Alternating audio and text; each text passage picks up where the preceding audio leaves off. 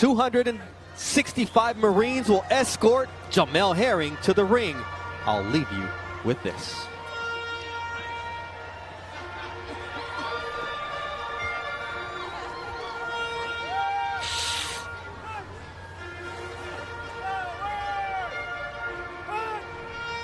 The bugle sounds for Gunnery Sergeant Jamel Herring to make his way to the ring in a Humvee.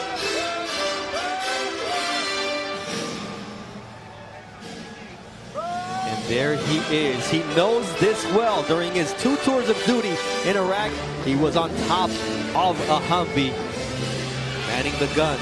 And today, he is being celebrated by the Marines on the birthday of the Marine Corps.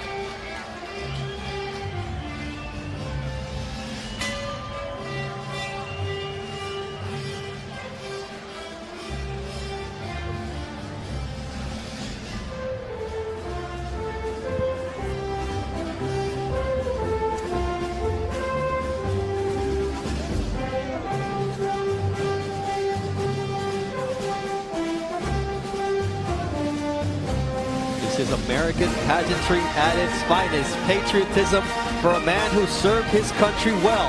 And he carries those same tenets, that same discipline that made him a good Marine into the ring.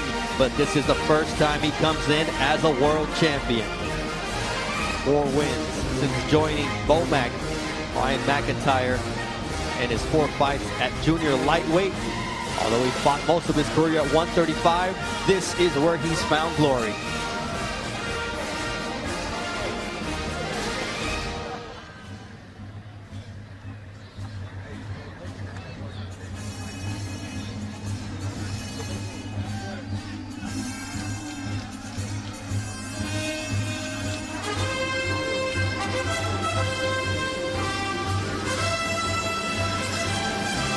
Makes the turn from right center field, coming down towards the first baseline. And he represented the U.S. on the battlefield as a Marine, as well as in the ring in the 2012 Olympic London. He was the team captain. Always leadership is in his blood since he joined the Marines. A decision that changed his life as a teenager.